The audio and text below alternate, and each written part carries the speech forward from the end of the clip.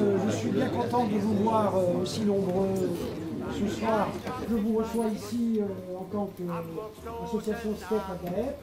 le NPA, le POIT, euh, euh, le PC, les lanceurs de. Wir schwenken die Fahne, die rote zum Gruß und folgen euch mutig, Jungsparta. Bien, merci. Euh, bonsoir à, toutes et à tous. Donc d'abord, merci euh, pour l'invitation. Je suis très heureux d'être parmi vous pour évoquer euh, l'histoire de la Révolution allemande aujourd'hui.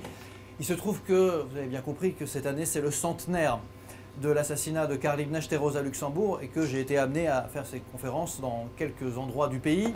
Euh, il y a un écho tout particulier lorsqu'on en parle à Strasbourg, puisque Strasbourg à l'époque était en Allemagne et que la révolution allemande, les conseils ouvriers, eh bien, tout ça s'est déroulé dans une partie de ce qu'on appelle aujourd'hui la France.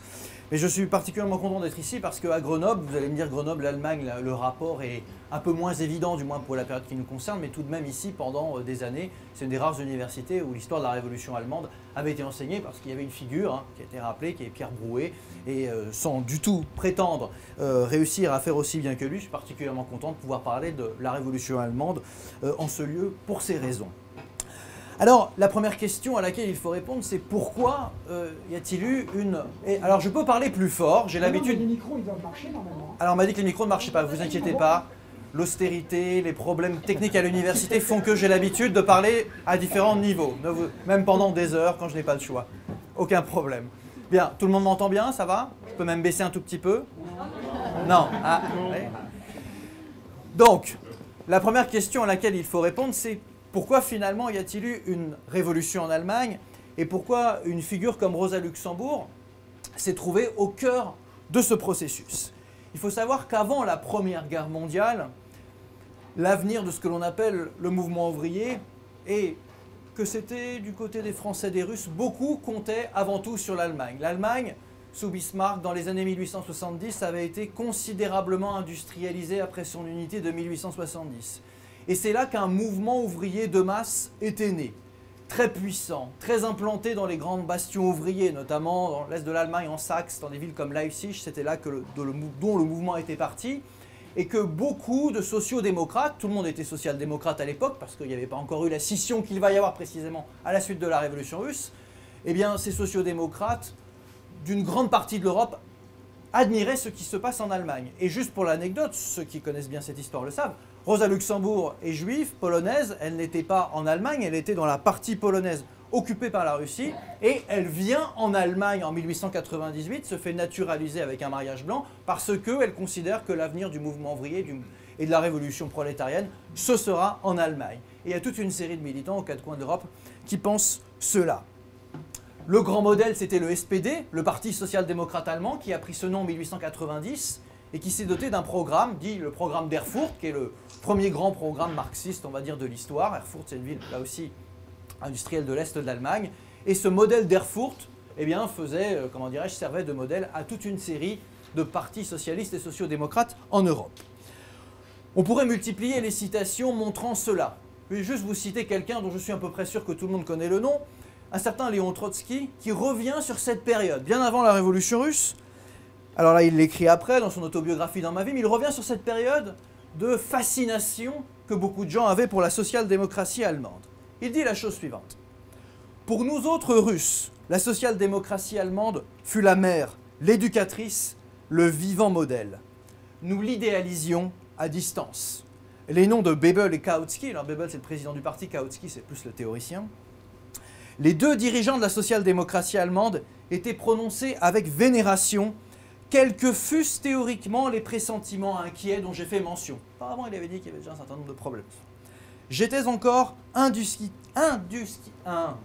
oh, je vais y arriver, indiscutablement, à cette époque, sous son emprise. Et malgré l'évolution de la social-démocratie avant 1914, qui s'intégrait déjà beaucoup à la société, à l'État, eh bien, la plupart des révolutionnaires en Europe comptaient sur ce qui allait se passer en Allemagne. Il faut bien avoir en tête cela pour les années qui vont suivre, et même les années après la révolution russe de 1917. Pendant longtemps, les bolcheviks n'auront qu'une idée en tête, bien sûr la révolution qu'ils font chez eux, mais comment cette révolution eh bien, va se décliner à l'étranger, et notamment dans la première puissance industrielle du continent, là où le mouvement ouvrier était le plus fort, le plus organisé, en Allemagne. Une fois cette importance posée, Il faut rappeler, bien sûr, je le sous-entendais, mais je rappelle pour ceux qui ne connaissent pas forcément toujours très bien cette histoire, que la social-démocratie allemande était traversée par des antagonismes profonds. Alors pas encore des scissions, puisqu'on on y a fait allusion tout à l'heure, parce qu'il y avait cette culture du parti qui était très forte. Hein. Puis vous savez, Rosa Luxembourg, elle va rester dans la social-démocratie allemande, dans le SPD, dans le SPD, autant qu'elle peut, le plus longtemps possible, parce que ce parti il avait été fondé dans la clandestinité contre Bismarck. Il s'était battu contre des lois antisocialistes extrêmement virulentes à son encontre.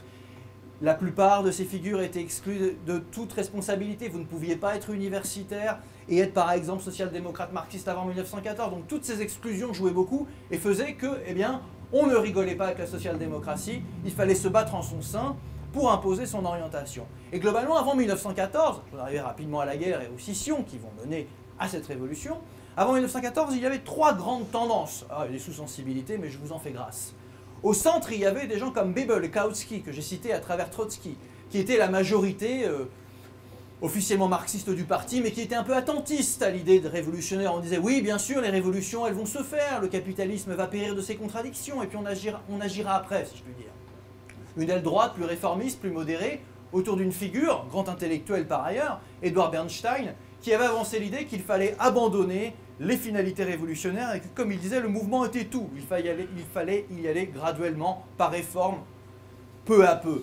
Cette grande idée que défend Bernstein, c'est l'origine, pour le diavite, du, réformisme politique. Et à la gauche de tout cela, il y avait un certain nombre de grandes figures. Karl Liebknecht, je cite en premier avant Rosa Luxembourg parce qu'il était infiniment plus connu que Rosa Luxembourg à l'époque. Pourquoi?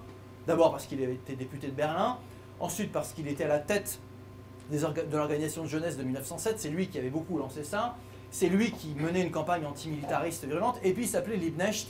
Euh, nous on connaît Karl Liebknecht, mais il faut savoir que son père, Wilhelm Liebknecht, était un de ceux qui avait traversé toute la deuxième moitié du 19e siècle et qui avait porté à bout de bras la social-démocratie persécutée par Bismarck, Bismarck, ce que j'ai évoqué juste avant.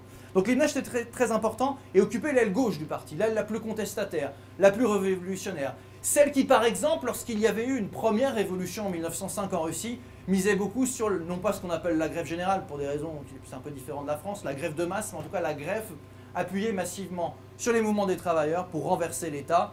Donc autour de Liebknecht, vous aviez un courant de gauche.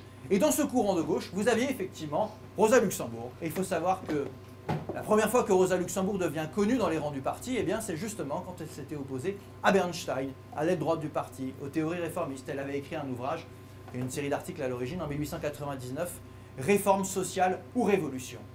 Et en 1905, elle avait été particulièrement sensible à cette première révolution russe. Malgré tous les débats, malgré toutes les divergences, cette aile gauche reste dans le parti. Pendant longtemps, là aussi je résume à grands traits, quel était leur pari? Leur pari était que les Kautsky, les Bebel, ils pouvaient les retenir, ils pouvaient peser sur eux et ils pouvaient fondamentalement conserver l'orientation marxiste et révolutionnaire du parti, malgré les ambiguïtés, malgré les divergences. Et puis, plus on va avancer dans le temps, plus les divergences vont éclater. Rosa Luxembourg va se voir censurée, par exemple, dans la théorique du parti, parce qu'elle va dire qu'il faut relancer la campagne d'agitation pour la République. Alors pourquoi? Parce qu'à l'époque, l'Allemagne n'était pas une République et que c'était réprimé le fait même de demander une République allemande. Et certains du parti vont dire non, non, on y va mollo, sinon on risque de retomber dans la clandestinité, etc. Donc les débats existaient. Les divergences étaient là. Mais néanmoins, Lénine, Trotsky et bien d'autres à l'étranger, malgré tout ça, considéraient que c'était là que ça allait se passer parce que le plus gros parti, encore une fois, était implanté et défendait globalement, malgré tout, une orientation qui leur convenait. Eh bien, tout ça va voler en éclats à partir de 1914 et d'une certaine manière, les prodromes de la révolution russe et de la révolution allemande, nous les avons dès août 1914. Qu'est-ce qui se passe en août 1914 Le 4 août, très exactement, je ne peux pas revenir sur pourquoi la Première Guerre mondiale, mais ce qui est important pour notre propos, c'est que pendant longtemps, dans le cadre de l'international socialiste, qui reliait les différents partis socialistes du continent, eh bien, vous aviez une orientation globale qui consistait à dire en cas de guerre, si les bourgeoisies, si les impérialistes nous poussent à la guerre, nous ferons, nous ferons tout, si je puis dire, pour saboter la guerre. Nous nous mettrons en grève, nous empêcherons les gens de partir au front, etc. Bien. Et notamment, nous ne voterons pas au Parlement, nos députés ne voteront pas les crédits de guerre. Bien. Or, c'est le contraire qui se passe. Le 4 août 1914, tant en France qu'en Allemagne, les sociodémocrates allemands, côté allemand, et les socialistes français votent tous les crédits de guerre. Tous, Ça a son importance de le signaler. Même Karl Liebknecht, qui est député de Berlin, vote pour. Vous allez me dire pourquoi. Parce que la gauche du parti s'était battue pendant des années pour imposer la discipline des élus. Comment dirais-je Les élus ne pouvaient pas voter ce qu'ils veulent, totalement indépendamment de la ligne du parti. Et quand quelque chose était décidé majoritairement, il fallait le suivre. Or, lors de la discussion du groupe parlementaire au Reichstag, du groupe parlementaire SPD, il y a une discussion où les modérés, si je puis dire, les, centristes, comme on dira à une époque, et la droite du parti, eh bien, décident de voter les crédits de guerre, et même Karl Liebknecht s'y rallie à ce moment-là par discipline de parti. Donc, unanimité. Et à partir de là, alors pourquoi beaucoup pensaient que la guerre ne durerait pas longtemps, qu'il gagnerait vite la guerre, que le, tsarisme russe était tellement horrible qu'il fallait mieux prendre des armes vu que la France était l'ennemi du tsarisme. Je pourrais vous en parler pendant des heures, mais tel n'est pas mon propos, sinon je ne suis pas rendu en 1918. Donc, qu'est-ce qui se passe à ce moment-là? Eh bien, l'aile gauche va être de plus en plus en rupture avec la majorité du parti. Et pour le dire simplement, et pour en arriver tout de même assez vite, en 1917-1918, eh bien, plus on va avancer dans le processus de la guerre. Plus il va y avoir évidemment des victimes, ces grandes batailles que l'on a tous en tête, comme prenons Verdun par exemple. Plus on va avancer chronologiquement, plus les ruptures qui étaient déjà en gestation avant 1914 eh bien, vont apparaître et, vont être de plus en plus prononcées. Le premier acte de rupture, qui ensuite deviendra un acte fort, euh, disons que c'est peut-être que là qu'est né, que sont nés ce qu'on appellera ensuite les Spartakistes, c'est en décembre 1914, lors du renouvellement des crédits de guerre, Liebknecht, qui est à ce moment-là mobilisé, envoie une lettre et il est le seul député du Reichstag à refuser de voter les crédits de guerre. Et autour de ce refus va se structurer progressivement une aile gauche. Alors cette aile gauche, elle est un peu compliquée, c'est là où l'histoire des scissions, si je puis dire, commence.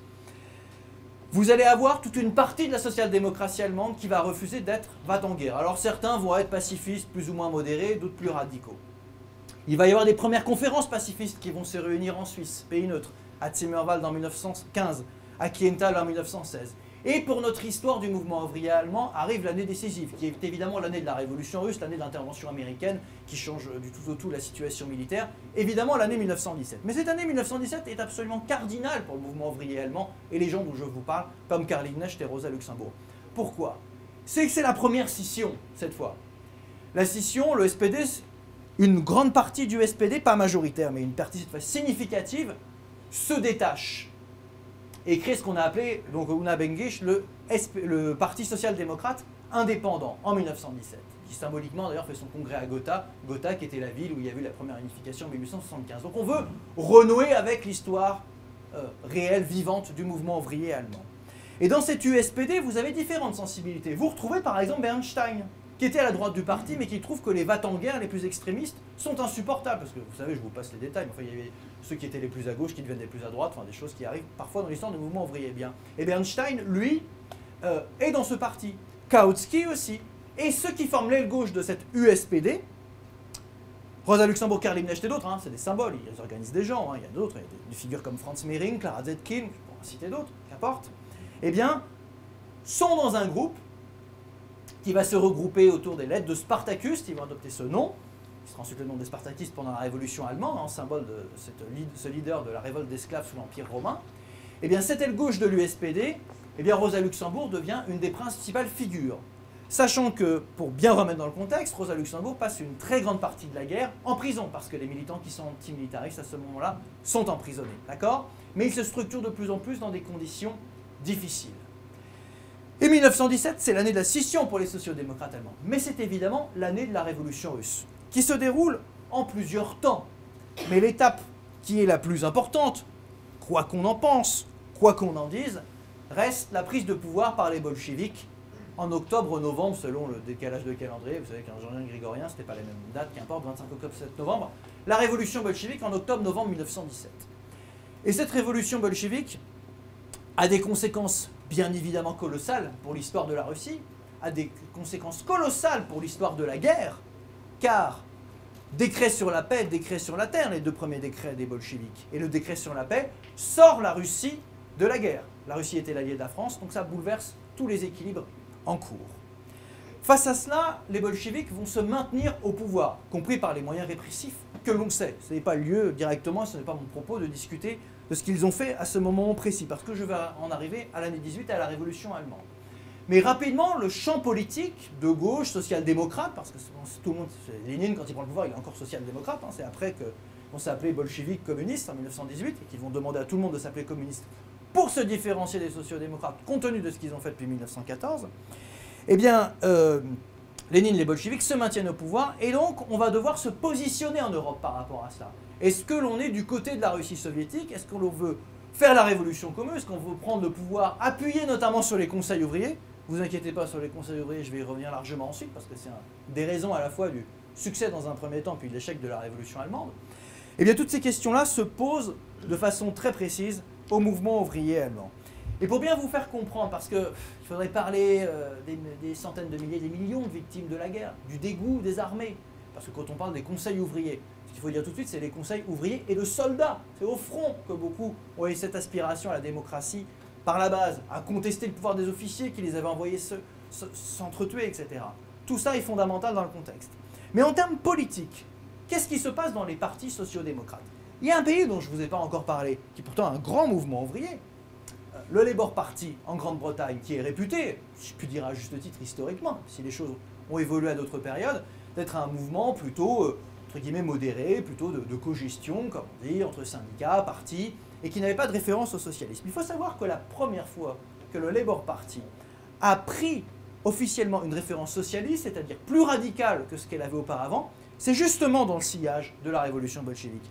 En février 1918, le Labour Party adopte en effet une plateforme programmatique qui n'est certes pas insurrectionnelle et révolutionnaire, mais qui se fixe comme objectif une société socialiste.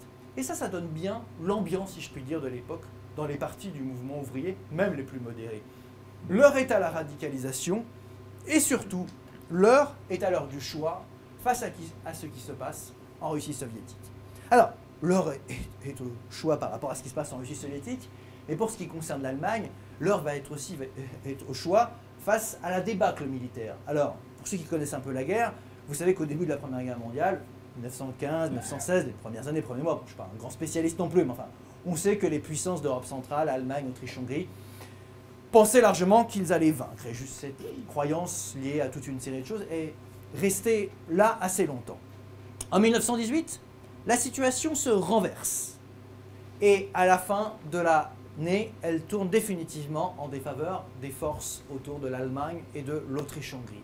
Et l'empire allemand s'effondre progressivement. Cet empire allemand, c'était euh, l'empire de Bismarck. Alors, Bismarck n'est plus au pouvoir depuis 1890, mais c'était l'empire de Guillaume II qui dominait, le Kaiser, qui paraissait surpuissant, intouchable, invaincu au niveau militaire, et qui pourtant, donc, à partir en gros de l'été 1918, et puis plus on va avancer dans le temps, plus les choses vont se jouer, en novembre 1918, s'effondre. Et lorsqu'il s'effondre, arrive quelque chose d'assez exceptionnel dans l'histoire de l'Allemagne pour l'époque. Évidemment, avec le recul, ça ne pourrait pas forcément s'exprimer, mais tout de même. Vous savez, les sociodémocrates, j'ai fait une allusion volontairement tout à l'heure, ils avaient euh, comme objectif, notamment, d'établir une république allemande. Ils n'y avaient jamais réussi. Il n'y avait pas de république dans l'histoire de l'Allemagne. Il y avait une première tentative en 1848. Il y avait ce souvenir de grande république allemande, euh, qui aurait d'ailleurs uni tous les peuples allemands de l'époque, hein, les Allemands, ce qu'on appelle nous les Autrichiens, bref.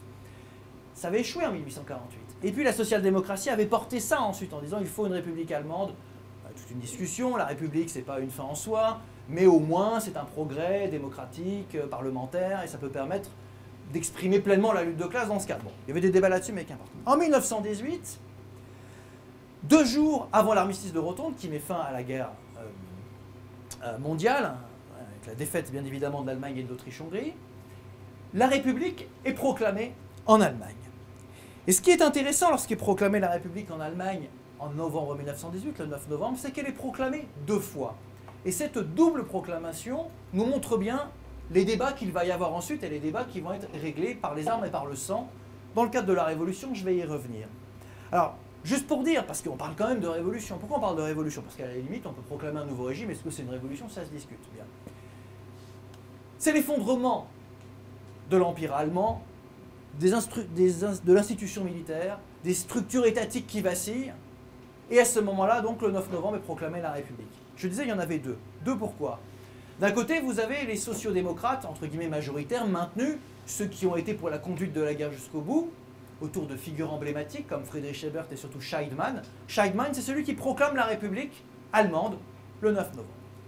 En même temps, ceux qui étaient les plus à gauche, les plus révolutionnaires, ceux qui étaient admiratifs du modèle bolchevique, en ayant des critiques, parce que Rosa Luxembourg, quand elle est emprisonnée, on sait qu'elle va écrire des textes euh, sur la révolution russe assez critiques, hein, qui seront d'ailleurs publiés qu'après son vivant. C'est pose question sur ce qu'elle voulait vraiment dire, mais qu'importe.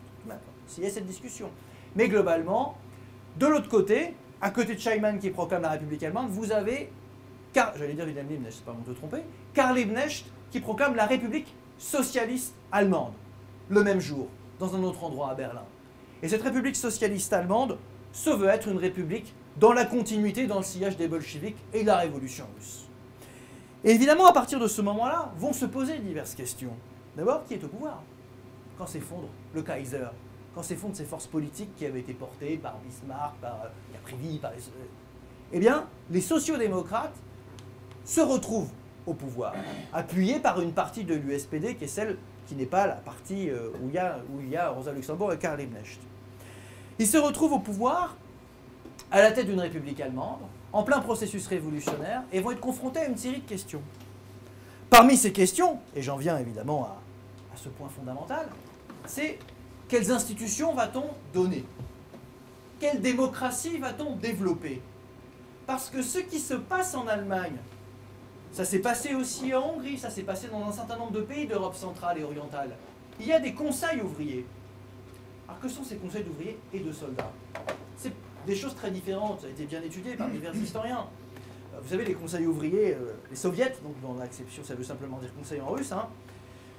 Dans certains lieux, c'est des délégués ouvriers, une aspiration à la démocratie radicale, de renverser le pouvoir du patronat. Dans d'autres, c'est les soviets qui servent à faire tourner. Vous savez, c'est des pays qui sont en guerre, c'est des pays qui sortent de la guerre, c'est une situation effroyable. C'est simplement parfois des, des, endroits qui permettent aux gens de se réunir pour distribuer de la nourriture. Donc, c'est des instruments où la population s'empare du pouvoir à différents niveaux.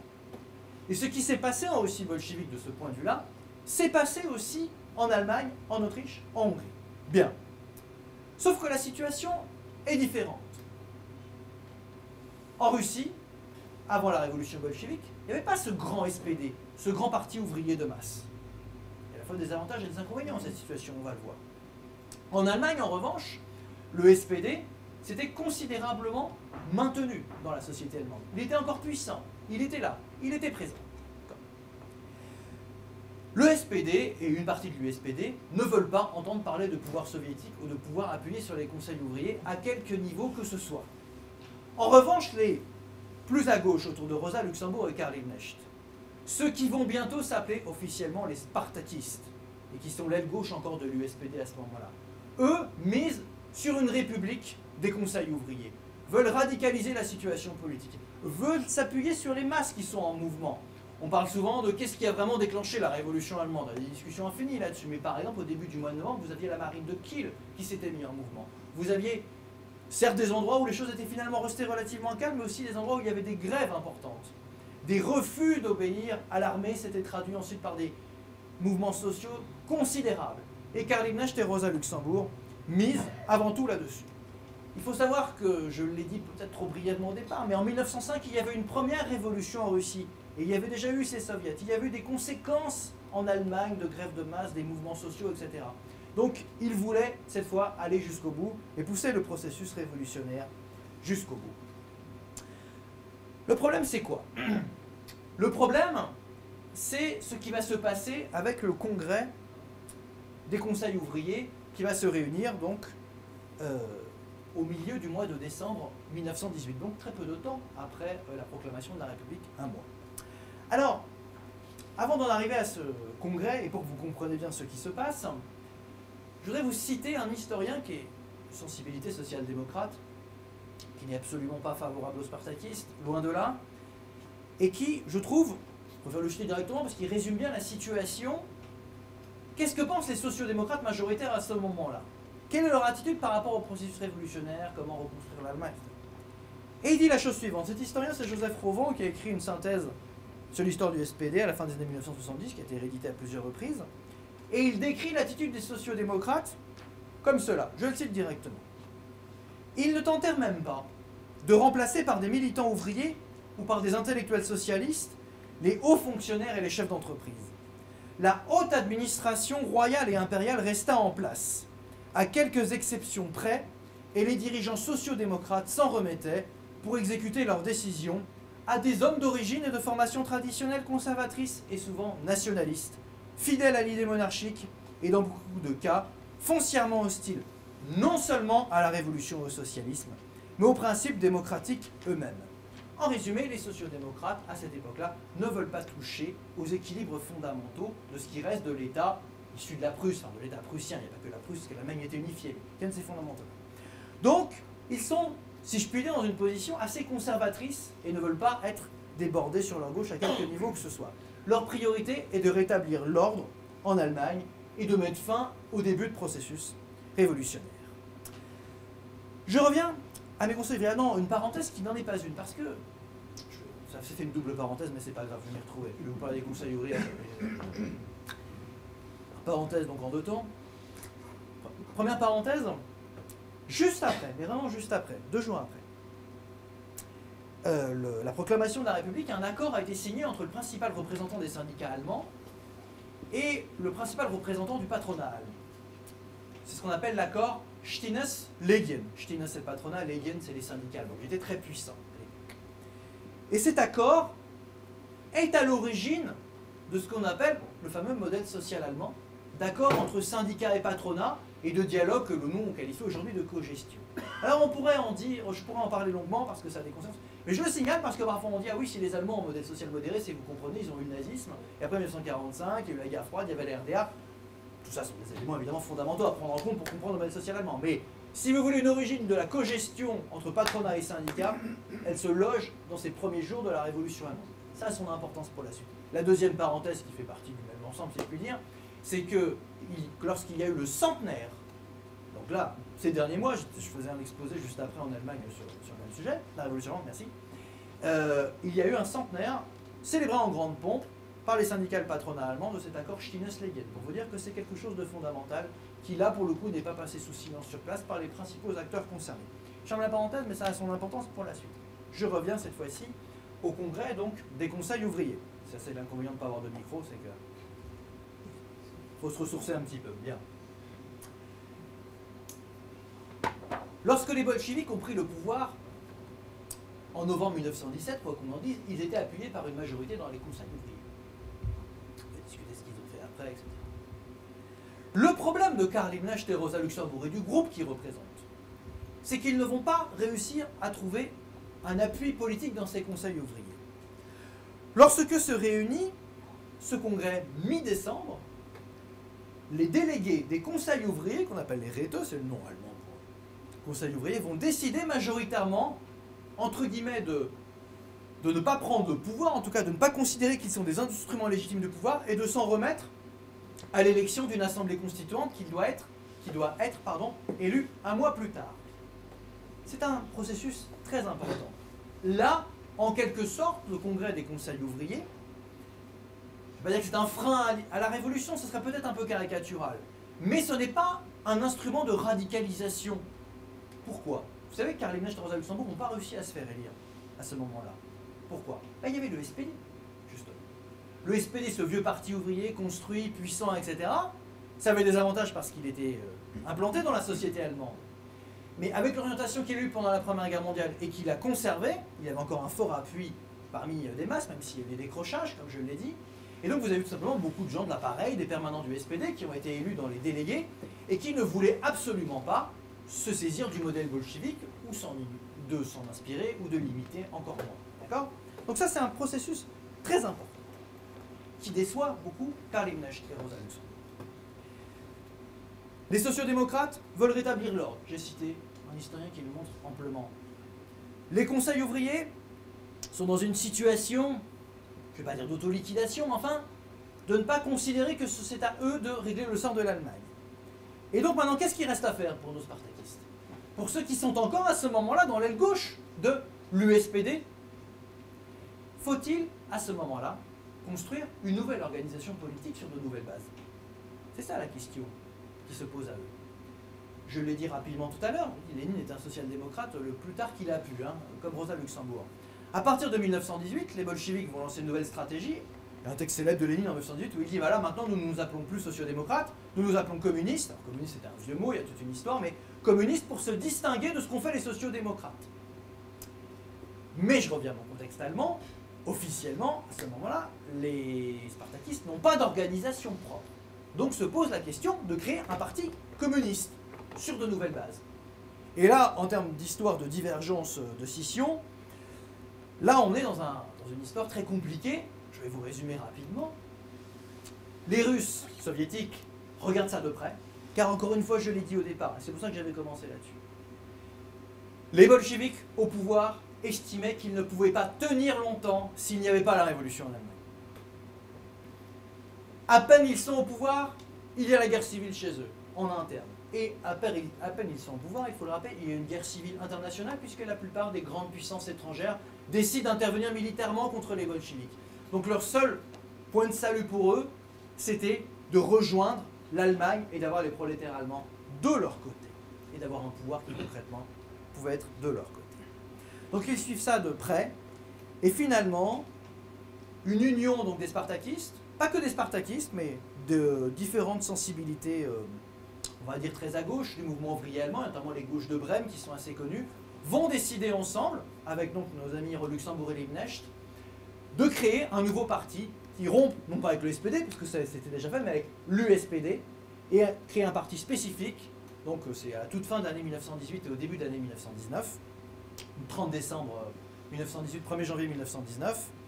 Il décide de fonder, donc avec quelques autres, ce qu'on appelle le KPD, donc le Parti communiste allemand, qui est officiellement proclamé le 1er janvier 1919 et qui au départ est très faible et très divisé. C'est à la fois une date fondamentale, essentielle, parce que Rosa Luxembourg va mourir en dirigeant de ce parti, quelques jours après quasiment, enfin 15 jours après, c'est essentiel. Mais le Parti communiste allemand à ce moment-là est petit et divisé sur la façon dont il faut poursuivre les événements. Faut-il prendre le pouvoir? Faut-il tenter de s'appuyer sur la radicalisation d'une partie des masses pour renverser euh, l'État de l'époque? Quelle attitude faut-il avoir par rapport au gouvernement social-démocrate? C'est la discussion qui commence et qui n'en finira pas ensuite. hein, c'est après, mais je vous en parlerai tout à l'heure. Mais sur le front unique ouvrier, c'est bien qu'on ne soit pas d'accord avec les sociaux-démocrates, est-ce qu'il y a des moyens de s'allier sur un certain nombre de points, à des moments donnés, etc. Nous n'en sommes pas là.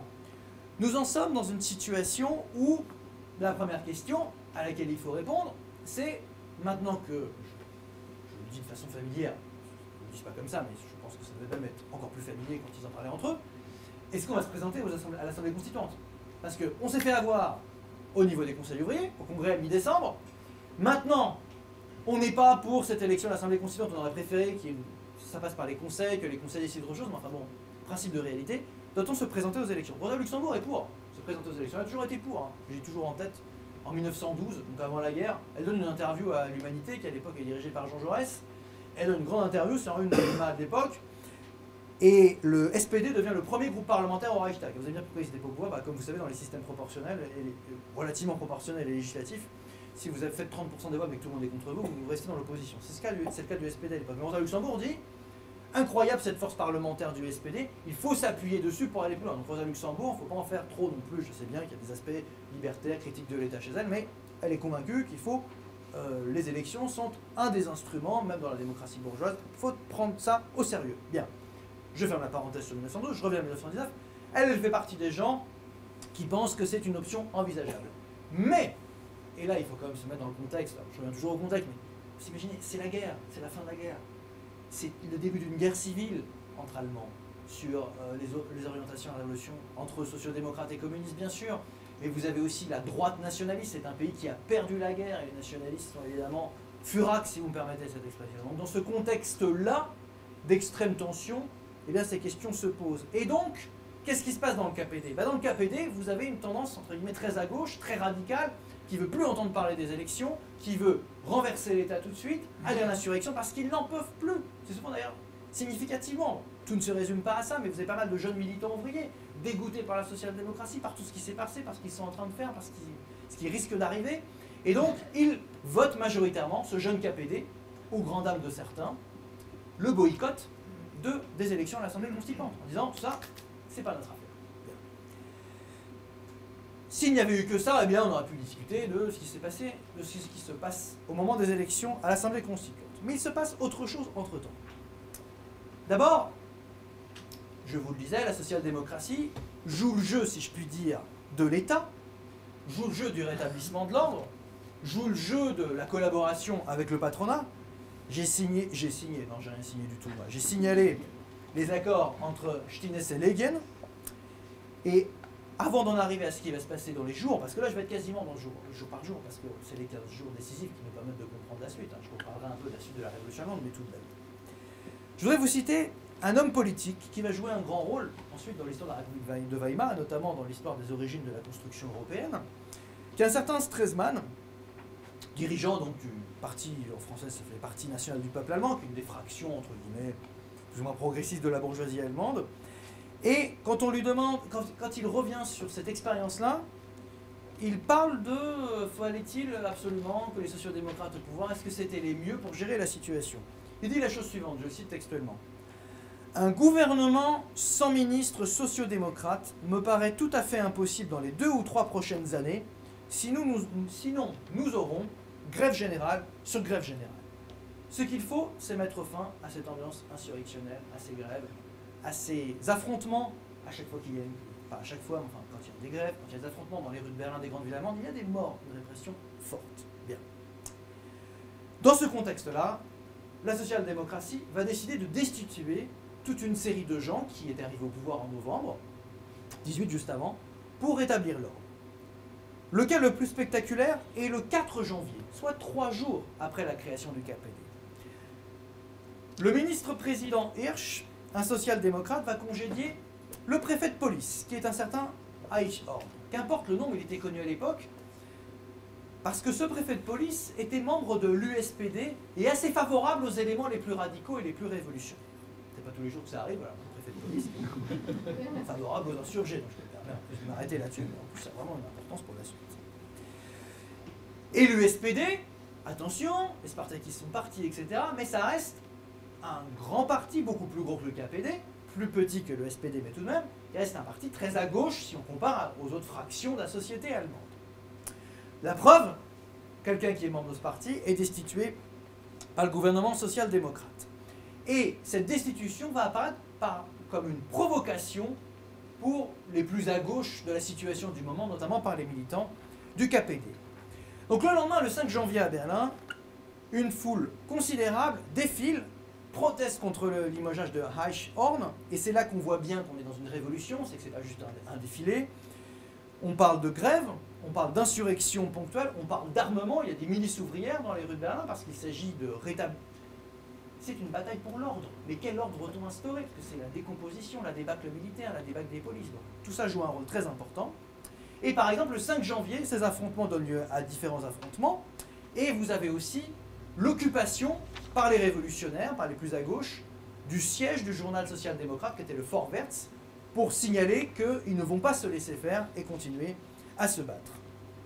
Et c'est là que la situation, notamment à Berlin, devient de plus en plus insurrectionnelle. Je dis Berlin parce que c'est le cas dans quelques grandes villes, mais effectivement, on peut se dire aussi, est-ce que c'est pas surestimé lorsqu'il y a une insurrection dans des grandes villes, alors qu'il y a aussi les campagnes, a des zones où les choses sont moins radicalisées, les rapports de force qui.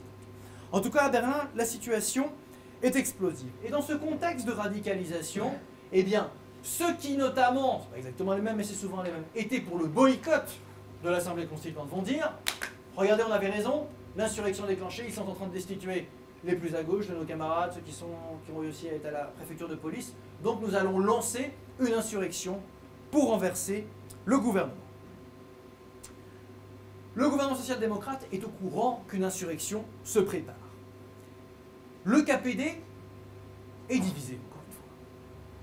Et il est divisé entre ces deux figures emblématiques dont je vous parle depuis tout à l'heure. Il est divisé entre Liebknecht et Luxembourg. Liebknecht pense que c'est le moment de l'insurrection, c'est le moment où il faut y, aller.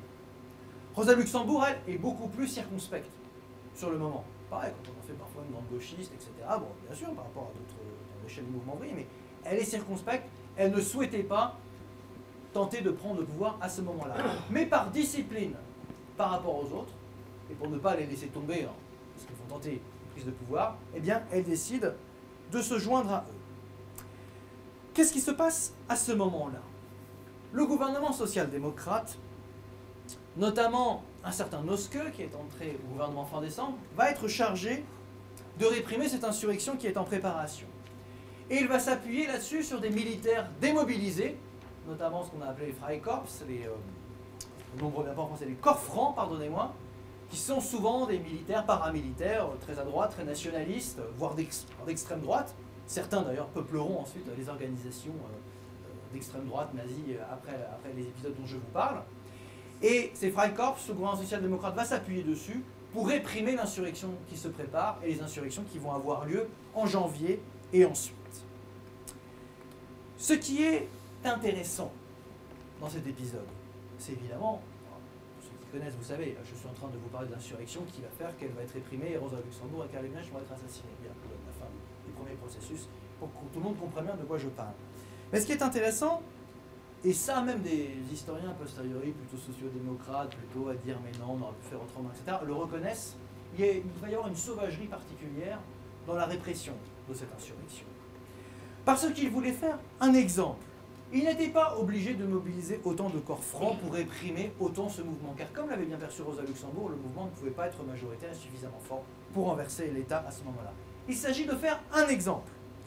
D'où la violence particulière avec laquelle ces corps francs vont rentrer dans Berlin à partir du 12 janvier et pendant plusieurs jours réprimer systématiquement tout ce qui peut se rapprocher de l'idée des spartakistes de l'idée révolutionnaire. L'épisode le plus connu, c'est évidemment le 15, où la répression d'une partie de- des, des dirigeants, certains vont y échapper. Euh, Mérine qui est beaucoup plus âgé, qui meurt à la fin du mois de sa belle mort, mais pas dans, la répression. Rosa Luxembourg et Karl Liebknecht sont assassinés, donc capturés. Alors, des débats sur est-ce qu'ils auraient pu s'en aller de Berlin, oui, peut-être, ils auraient pu fuir à temps, mais ils préféraient être là pour être du côté des insurgés, qu'importe. Ils sont réprimés le 15 janvier et assassinés, donc le 15 janvier 1919. À partir de là, je pourrais m'arrêter de parler là, parler maintenant, mais vous avez remarqué qu'il me reste encore un petit peu de temps. C'est surtout qu'on ne peut pas dire que la révolution allemande soit totalement terminée le 15 janvier. Bien évidemment, c'est une date symbole. Vous savez, tous les ans, il y a encore une réunion à Berlin. Manifestation, pardon, beaucoup plus qu'une réunion, manifestation où les gens défilent en l'honneur donc de Karl Liebknecht et Rosa Luxembourg, assassinés dans les circonstances que je euh, viens de, rétablir rapidement. Vous savez, la révolution allemande, c'est un peu comme toute révolution. Vous savez, la révolution française, donc qui n'a rien à voir d'une certaine manière, mais c'est un processus révolutionnaire. La révolution française, parfois, on se dit, ah, est-ce qu'elle s'arrête euh, avec la chute de Robespierre? Mais est-ce qu'elle ne continue quand même pas un peu? Est-ce que c'est pas Napoléon qui y met fin? Puis d'autres vont dire, mais non, Napoléon, de façon contradictoire, continue à porter quand même les acquis de la révolution française. Donc c'est plutôt Waterloo 1815. La révolution allemande, dans de toute autre circonstance, c'est un peu pareil. Quand est-ce que l'on peut dater la fin de la Révolution? Bah, L'épisode chaud, l'épisode le plus connu, c'est les deux mois dont je viens de vous parler, qui vont de quasiment mi-novembre à mi-janvier, bien sûr. Ce sont des épisodes décisifs. Mais il faut voir que si on raisonne en termes de guerre civile et d'affrontement, eh bien ce qui se passe ensuite, notamment dans les mois qui vont suivre immédiatement après, sont tout aussi importants et fondamentaux.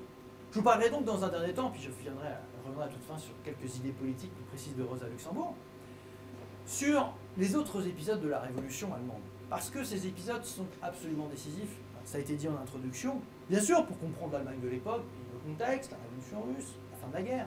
Et pour comprendre les raisons de la division ultérieure des, organisations du mouvement ouvrier face à la montée du nazisme. Parce que c'est en gestation tout de même, ces corps francs nationalistes qui répriment violemment des, insurgés. C'est d'autant plus en gestation que si je vous parle de ce qui se passe juste après, quand même ce qui se passe juste après, je vais revenir à petite histoire de République révolutionnaire, euh, quelques jours après est élue cette fameuse assemblée constituante, le 19 janvier 1919. Le SPD fait un très haut score, avec des déplacements de voix par rapport à ce qu'ils avaient avant 14, mais ils font 37%. Les sociodémocrates, C'est pas mal, hein 37%. Celui qui est élu, c'est le premier président social-démocrate de la, ce qu'on appelle la République de Weimar, Friedrich Ebert, qui est l'emblème de cette euh, social-démocratie, euh, comment dirais-je, euh, d'ordre. Et à partir de là, va s'ouvrir, faut le dire, parce que sinon on ne comprend pas pourquoi aussi il y a beaucoup de contestations, s'ouvre quelques jours après, et là, si on raisonne en termes de santé, on est pile dedans, les négociations sur ce qui va devenir, quelques mois plus tard en juin, le traité de Versailles. Et les conditions de ce que l'on fait avec l'Allemagne battue, parce que les Allemands en tête n'ont pas en tête que euh, les conseils ouvriers, l'insurrection, c'est une puissance battue, c'est un pays délabré, détruit, et les alliés qui les ont battus doivent décider des conditions dans lesquelles on doit, comme on dit à l'époque, faire payer l'Allemagne. C'est très important parce qu'une des raisons pour lesquelles la révolution allemande continue pendant ces mois, c'est que le sort de l'Allemagne n'est pas réglé et que le traité de Versailles, on sait bien, le coup de la légende, le coup de poignard dans le dos, ça a beaucoup été exploité par les nazis, etc. Mais vous aviez à l'origine beaucoup d'Allemands qui étaient contre ce traitement-là, y compris dans le mouvement ouvrier, parce qu'ils jugeaient que c'était quelque chose qui s'opposait au peuple allemand et s'opposait plus généralement à la solidarité des peuples en général. Donc ça, c'est vraiment quelque chose d'important à avoir en tête. Je reviens aux quelques... Qu'est-ce qui suit processus révolutionnaire après euh, l'Assemblée constituante et la répression donc, de Rosa Luxembourg et Liebknecht ceux qui savent, qui connaissent un peu l'histoire de la Révolution allemande, savent qu'il y a eu aussi une république des conseils en Bavière. Ça, la Bavière, c'est pas le, pays le plus, le, coin d'Allemagne le plus, à gauche ni le plus insurgé, mais à l'époque, il y a eu une république des conseils qui a été réprimée violemment. A une figure importante qui est Kurt Eisner, pas le temps de vous détailler trop, mais cette répression a été la répression a été particulièrement violente contre la République bavaroise. Et ça s'est notamment passé à Munich. À Munich, très exactement, là où il y aura les premiers pas ensuite du mouvement national socialiste qui jouera sur les mots, mais qui est le mouvement nazi, bien évidemment. Avec une sauvagerie particulière. Donc là, on est dans, dans un dictique, dans, un binôme, si je peux dire, qui est classique, mais qui est tout de même à avoir en tête. C'est la révolution et c'est la contre-révolution qui vient après. Et là, les sociodémocrates ont joué évidemment le rôle, peut-être pas contre-révolutionnaire en tant que tel sur tous les plans, mais ont joué le rôle en tout cas d'alliance avec ces forces contre-révolutionnaires contre ceux qui étaient les plus euh, révolutionnaires et les plus avancés du moment. Encore une fois, hein, c'est janvier 19 qui est le plus connu. Vous prenez les affrontements dans les rues de Berlin en mars 1919, c'est encore une véritable guerre civile qui a lieu à ce moment-là. En aucun cas, j'y insiste, on ne peut terminer la révolution allemande à ce moment-là. Qu'elle se termine Quand se termine-t-elle cette révolution allemande? Je vais vous parler de quelques événements. Ça prendrait euh, très longtemps de vous dire étape par étape, faire une synthèse bien évidemment. Toujours, euh, vous savez ce qu'on fait. On fait toujours Rosa Luxembourg et Karl Liebknecht. Après, c'est ça. Et pour les plus initiés, l'autre jour, j'ai fait une, conférence un peu du même type sur la révolution allemande, justement en partant de l'assassinat de Rosa Luxembourg et Karl Liebknecht, pour parler de ce qui se passe après. Parce que des gens m'avaient dit, bah, c'est bien, mais finalement, euh, si je comprends bien, ce qui se passe après est presque tout aussi important. Eh bien, oui. Pourquoi? Quelques éléments là-dessus. Bien sûr, la social-démocratie a joué la carte, la carte de l'ordre. Bien sûr, elle s'est taillée au corps franc, ce que j'ai dit.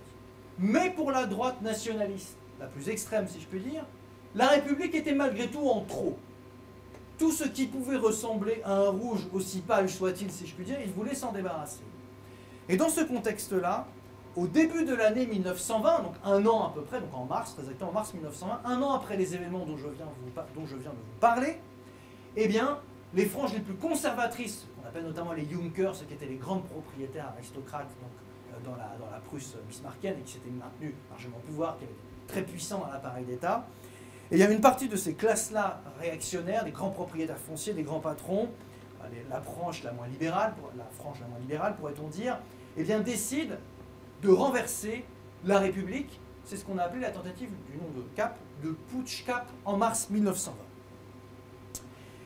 Et donc, qu'est-ce qui se passe face à cette tentative de putsch? Eh bien là, les organisations du mouvement ouvrier, après des hésitations, notamment du KPD, qui se met vite l'aventuriste puisqu'il vient de arriver, après des hésitations du SPD, parce qu'au contraire, ils sont pour euh, le maintien de l'ordre, si je puis dire, eh bien, la plupart des militants et des organisations du mouvement ouvrier, même Legien, celui dont je vous ai parlé, qui a signé l'accord avec le patronat des 18, qui était très modéré, qui s'était battu contre l'idée de grève, de masse, grève générale avant 1914, et bien là, il décide d'appeler à la grève générale pour mettre en échec le putsch cap, et c'est ce qui se passe. C'est un des rares cas, notamment dans l'histoire allemande, où une grève générale parvient à son objectif politique qui plus est, de mettre à bas un certain nombre de choses, en l'occurrence là une tentative de putsch d'extrême droite.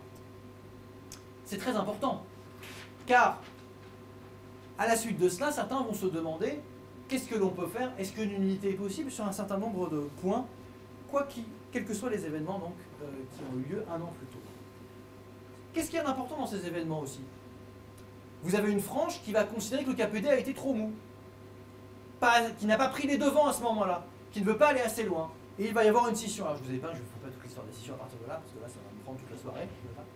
Mais plus, plus exactement, vous avez un cas APD qui se fonde, qui est un parti entre guillemets euh, d'extrême gauche, c'est-à-dire quelque chose, enfin, plus à gauche que le KPD, qui pense qu'il ne faut plus se présenter aux élections, c'est ni, ni syndicat, ni parlement, les conseils ouvriers, qui veut tout miser sur le retour des conseils ouvriers. D'accord? Ce qu'on appelait les conseillistes. Pour la petite histoire, c'est contre eux que Lénine écrit notamment La maladie infantile du communisme, le gauchisme, en disant que certes, il y a des points d'accord sur le fond, mais qu'on ne peut pas abandonner le terrain parlementaire, on ne peut pas abandonner le terrain syndical, etc. Mais oui, c'est un épisode important, parce que là, on est encore dans la révolution allemande et se pose des questions stratégiques absolument clés. Puisque j'ai évoqué Lénine et que je ne veux pas être trop long, les bolcheviks, entre-temps, quelles leçons ils tirent de tout cela Et ils continuent à regarder vers l'Allemagne. C'est pour ça que je continue à vous en parler aussi un petit peu chronologiquement, plus en avant, après 19. Pourquoi a-t-on fondé l'international communiste en mars 1919 Ça va être le premier congrès, mais le véritable, c'est le, deuxième congrès qui marque véritablement ensuite le, le fonctionnement international communiste. L'international communiste, elle a été fondée précisément parce que la révolution allemande n'a pas marché, parce que les spartakistes n'ont pas eu le pouvoir, et c'est pour cela que les bolcheviks lancent ce qu'on appelle le Comintern pour faire la révolution mondiale partout dans le monde, dans les colonies, ça c'est un grand changement par rapport à l'international d'avant 14, mais quand même, en premier lieu, ce qui les intéresse le plus, c'est ce qui se passe en Allemagne. Va-t-on réussir à faire la révolution en Allemagne? Je reviens à mon lendemain de grève générale en mars 1920.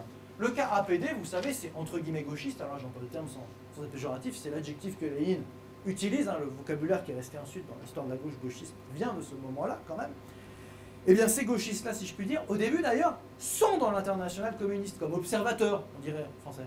C'est-à-dire qu'ils participent du mouvement révolutionnaire. Après, ils vont rompre parce qu'ils n'arrivent pas à se mettre d'accord suffisamment avec la stratégie des bolcheviks. Mais tout de même, la révolution, d'une certaine manière, continue. Au même titre qu'il y a un débat sur... Enfin, il y a une aile gauche qui se sépare du KPD, vous avez une aile qui, au contraire, pense qu'il ne faut pas perdre de vue qu'il faut gagner, comme on dit, la confiance des masses. Et qu'une partie de ces masses sont restées dans le SPD, quoi qu'on en dise, quoi qu'ils aient fait en janvier 1919. Et qu'à partir de là se pose la question du positionnement du KPD par rapport aux syndicats, par rapport aux élections. Je vous rappelle que le KPD avait été fondé sur un refus de se présenter aux élections. C'est tout un bazar, si je puis dire. Et vous avez une figure hein, qui aimait bien, qui beaucoup, euh, je titre à mon avis, euh, Pierre Drouet, justement, l'historien dont on parlait en début de conférence, qui est Paul Lévy.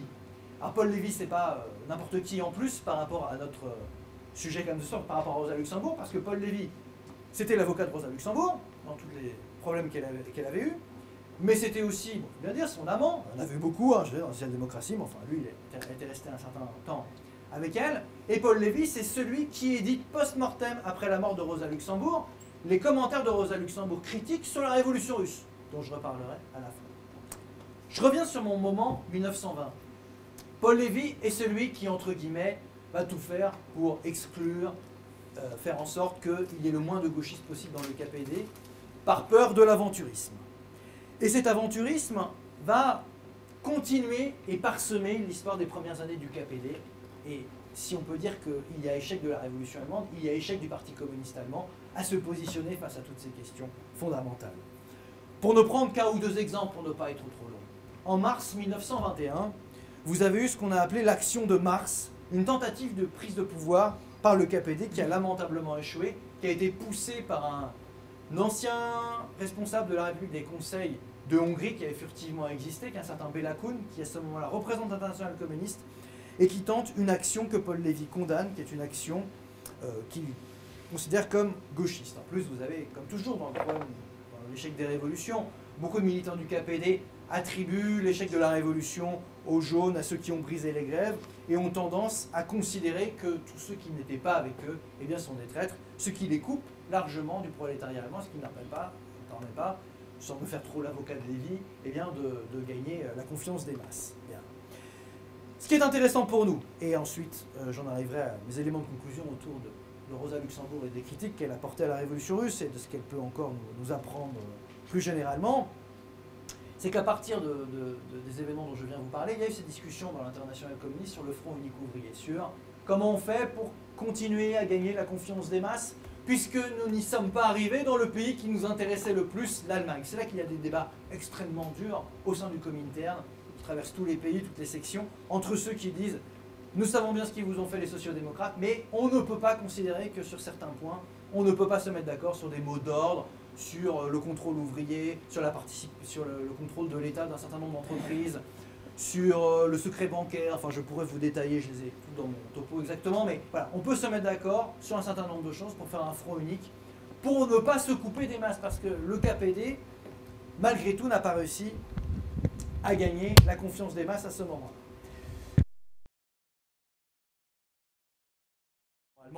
Pour assurer euh, sa survie, sa subsistance, puisque la révolution allemande n'a pas eu lieu.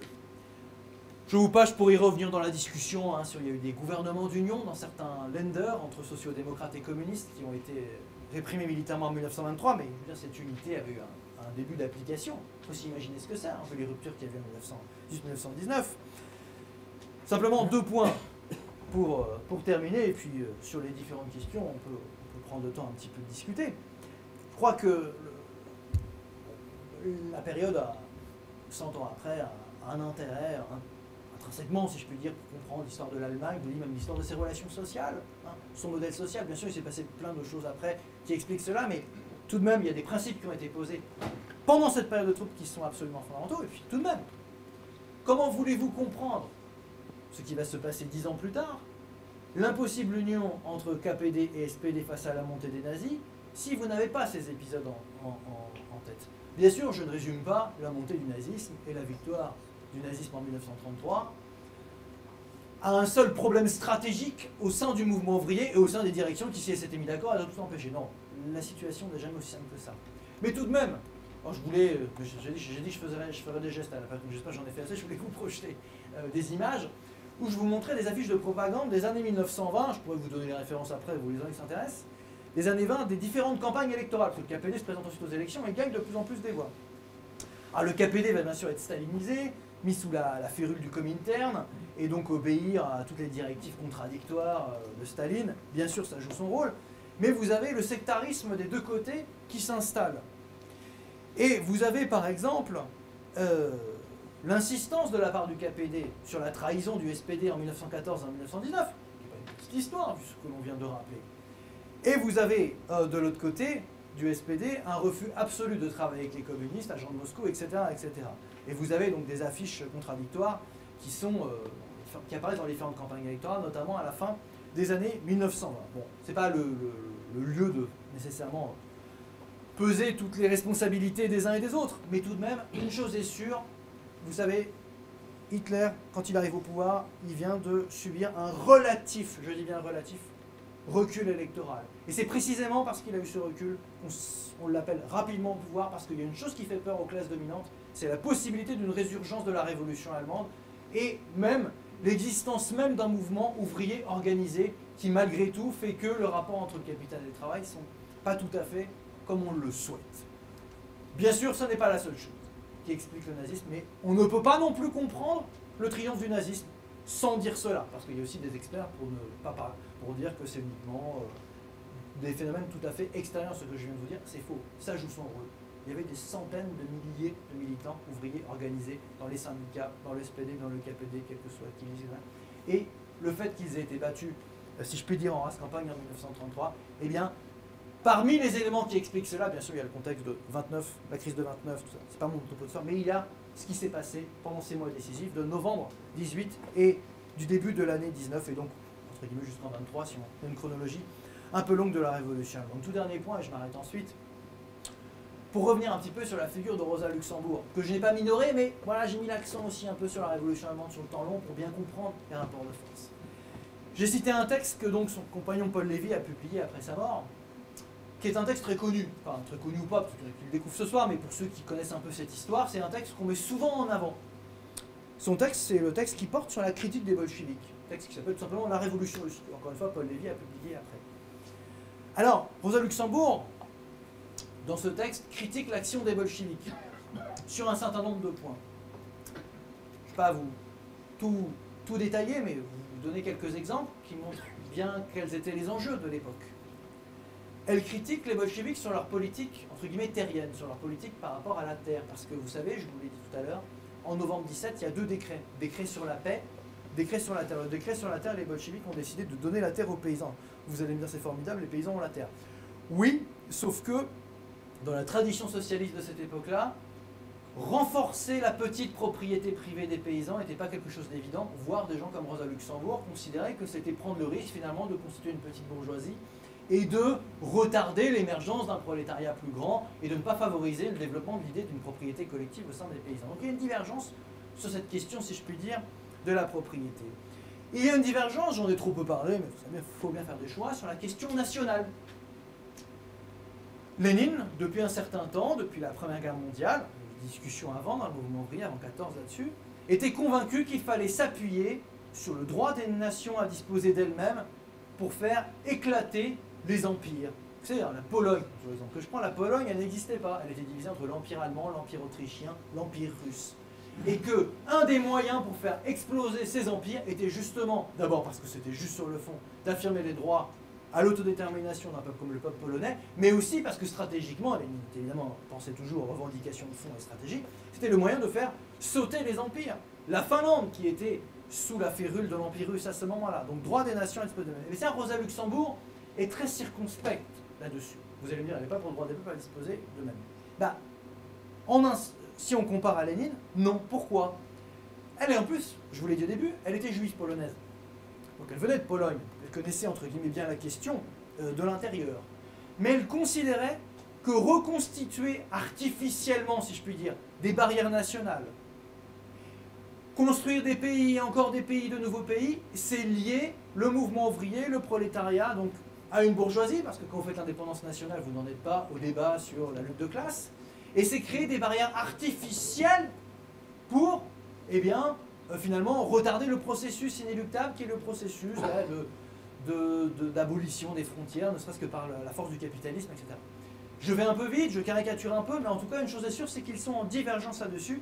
Elle est très critique à l'égard de la nation. Alors on peut trouver sa perspective, trop ceci, trop cela, mais elle est ainsi, et c'est un des points de divergence importants qu'elle a avec les bolcheviks. Le dernier point sur lequel, enfin c'est pas le dernier point, mais le point le plus important sur lequel elle a des divergences, c'est la question de la démocratie euh, et des libertés.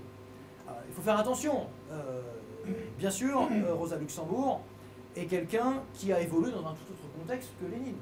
Je vous l'ai dit, hein, en 1912, quand elle parle à l'humanité, elle parle au nom d'un groupe parlementaire qui fait 30% des voix dans la première puissance industrielle du monde. Hein. Euh, Lénine, euh, avant 1912, il était un petit groupe qui s'est fondé à l'étranger, définitivement à Prague en 1912, de militants certes très aguerris, très forts, mais qui est ultra minoritaire et très peu représenté à son Parlement. Donc ils ne viennent pas de la même histoire, ils n'ont pas le même rapport au parlementarisme, par la force des choses pas ça qui détermine tout, mais tout le monde. Et Rosa Luxembourg est extrêmement circonspecte sur un certain nombre de mesures, compris les bolcheviks, notamment la dissolution de l'Assemblée constituante en janvier 1918. Les bolcheviks ont dissous une Assemblée constituante, ils les avaient appelés dans un premier temps, les gens avaient voté, ils ne s'étaient pas retrouvés majoritaires, et ils ont fait appel aux forces armées pour dissoudre cette Assemblée. Notamment, pas pour tout justifier, mais tout de même, parce qu'il faut rappeler les événements, sinon après les gens disent, ah bah, évidemment, envoyer l'armée pour dissoudre une Assemblée, ça fait des ans. Oui, ça, je trouve ça bien, en soi.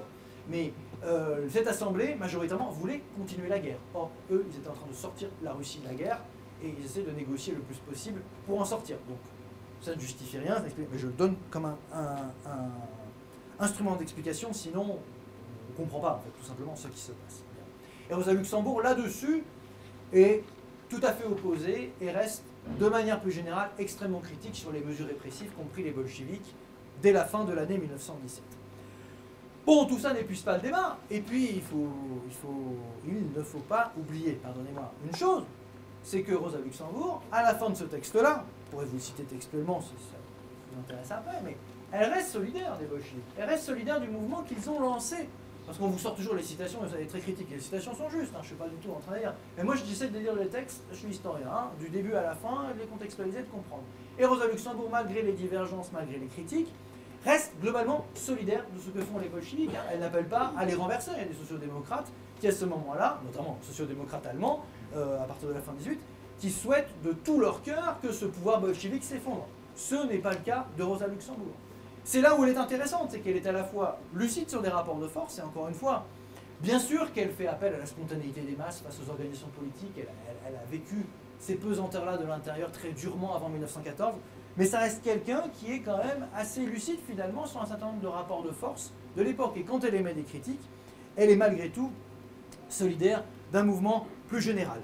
Voilà, et puis sur Rosa Luxembourg, euh, il faut rappeler une chose, hein, euh, si on veut encore se situer dans- dans le temps long, euh, bien sûr qu'elle était euh, extrêmement critique à l'idée euh, par rapport au- à la nation et par rapport au nationalisme, mais vous avez des textes où elle était un petit peu plus, comment dirais-je, je ne vais pas dire modérée, mais elle considérait que les droits des nations pouvaient s'exprimer de façon autonome dans des cadres plus larges.